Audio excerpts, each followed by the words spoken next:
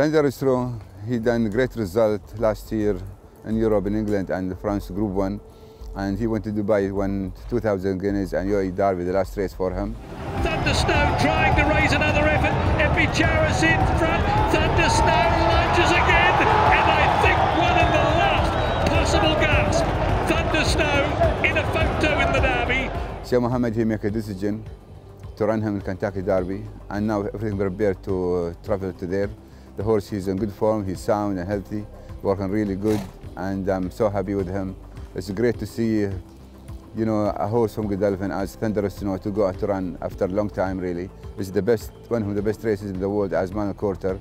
The horse, he prepare everything he done, main runners and really in Dubai, and he will have another piece of work in Newmarket before he travel to uh, Kentucky. The horse, he'll be like when he arrived for two days, he'll be in quarantine, but then he will be as a, a normal routine exercise for him only a few days before he run. In the past, we have some runners in Kentucky Derby, but uh, the truth, they are not, wasn't really good enough to win the race. The horse is improving really a lot, but this year uh, we're looking forward to run the best our horse there. It will be brilliant to see him run well.